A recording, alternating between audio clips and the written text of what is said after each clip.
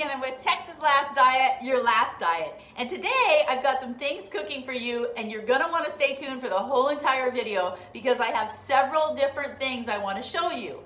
I am craving potatoes. I mean, come on, seriously, I kind of crave potatoes all the time. But what I noticed as I started losing weight and keeping it off that potatoes really aren't really flavorful. They basically just pick up the flavors of what you put on them, like mustard or ketchup. I mean, who puts mustard on potatoes? Me. so um, you can put salt and pepper. I mean, you put sour cream and cheese and all that stuff on potatoes. But if you were to eat a potato, it's kind of like, ugh, I got a tickle in my nose. it's kind of like mushy and not so, I don't know, flavorful. So I wanted to show you some really good things that are flavorful instead. And you can really dress them up. Now, you guys know I always talk about chayote, right? I love these chayotes. And if you haven't had one before, oh, I got something really cool to tell you. I'm growing these. They, the leaves actually come right out of here. I planted these in my yard and I'm gonna show you this weekend. There's already little things coming up. I mean, unless a squirrel or a bunny or something gets it, which could definitely happen at my house. But so anyways, the chayote is filled with all kinds of vitamin C and, and, and minerals and just this thing right here, tons of fiber. You are gonna wanna find these in your market. They look like a pear. Some people think they're apples, but they are not. They're usually wrapped in a cellophane. And now what I did to these is I steamed it first. A lot of people, what they do is they just eat it. They eat it raw. I had a lady this morning text me, you know that Walden Farms caramel and chocolate? She just cut it up in pieces and was dipping in that before she went on her workout. How cool is that? What a great idea. Way to go, girl. I was very proud of her. She's only been a Moxie Fitter for a couple weeks and she came up with that idea all on her own. Hey, Lenore, nice to see you. Now I cut that, you saw how easy that was to cut that baby in half. That's what it looks like in the inside. Now I love that seed. To me, it's kind of like the heart of the artichoke. It's the best part, but um, I usually scoop that out. But since I'm gonna throw it on my Joe Foreman grill, George Foreman grill, I'm not gonna do that today. I'm basically just gonna take a little bit of this melted butter that I had and spread it right on there. You guys see that? Remember, you're gonna wanna stick around because I have something boiling in this pot. You guys are gonna freak when you see it. All right, so there's my melted butter. Now, whatever spices you like, Italian seasoning is one of my very favorites. I usually put that on everything, but I'm tired of doing that for you. Jody, my friend, she hooked me up with this amazing spice. Now this has turmeric in it, garlic powder, Himalayan salt, turmeric, however you guys want to say it, black pepper, pepper, and ground coriander. Rewind that back. It's equal parts of everyone, and she just mixed it all together in a little sample here. This stuff is great. It's wonderful for inflammation, and you're really gonna like it. So I'm just gonna throw that on there like that and slapping on that nice hot grill. Yeah, baby. Lily and I are ready to eat today. I think I have some company coming. There's another one. Bam.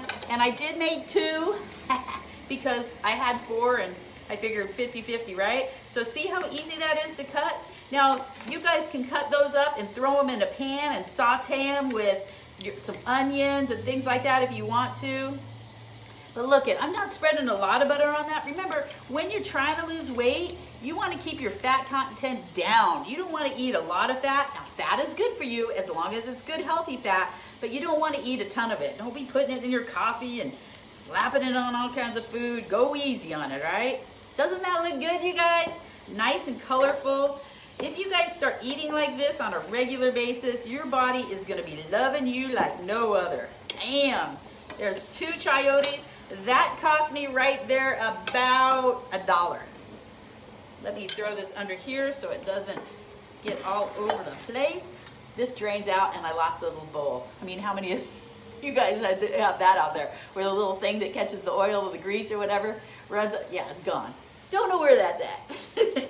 all right, so what else am I gonna show you? I decided I had some leftover jicama in there. I only had a little bit so I decided to throw it in the steam pot when I was steaming my chayote.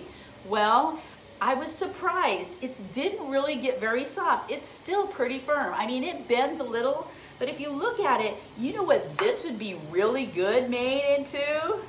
Yeah, a french fries. So all of you that have fry machines out there, those air fryers, All you have to do is put some olive oil on this baby and salt and pepper and you've got jicama fries. I steamed them for probably about 30 minutes. So cut them up in smaller pieces. Look at that, guys. That is a french fries if I don't say so myself. All right, the main thing that I've been excited to show you about today is this right over here. Now, I discovered this about two years ago and I was making this pot roast and everybody says throw radishes in because you know pot roast you have to have potatoes right potatoes and pot roast they're like well meat and potatoes so I was like, all right, that doesn't sound like cool to me at all, but I'm gonna try the radishes anyway. And I did. So I had my crock pot that I love, my favorite one, and I threw a whole bunch of radishes in there. And the whole time I was doing it, I was like, yeah, man, this is not gonna be good. And I was surprised. What happens is those radishes down there with that pot roast, they actually soak up all that juice. It is so unbelievably good. Well, how often do you make pot roast? I don't know, once a month, maybe once every couple months. I mean, at Thanksgiving, you don't make it very often, right? So people don't eat those very often. Well, not at my house, man. I gotta have potatoes a little bit more than that. And I try to stay away from all the carbs that those potatoes bring me.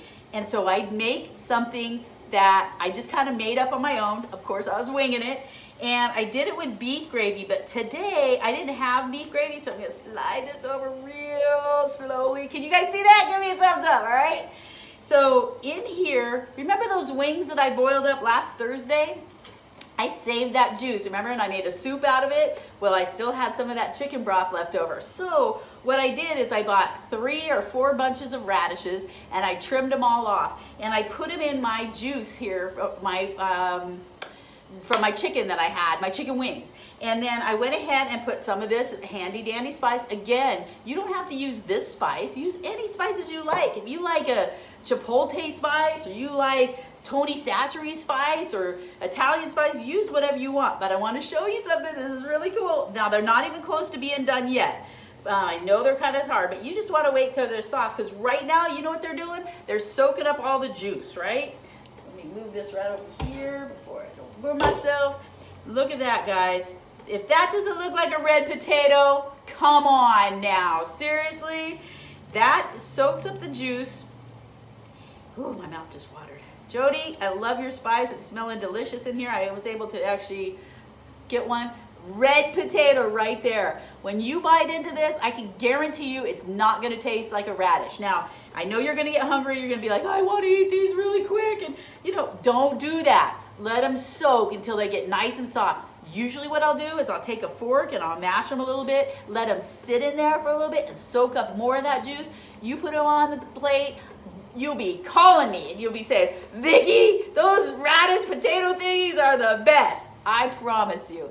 My name is Vikki. I'm with Texas Last Diet, your last diet. And if you ever want more recipes, go to my YouTube channel. Remember to scroll down below too and leave a comment. It's super important you do. You want to see recipes, hook me up with whatever you want. I'll come up with something and we'll make it easy for you, okay? Also, make sure that you look at the pictures below because I post everything below all plated up so you can kind of get an idea. I usually do that on every Facebook unless I get real hungry and I eat it before I can take a picture of it. I forget sometimes. I'm sorry, guys.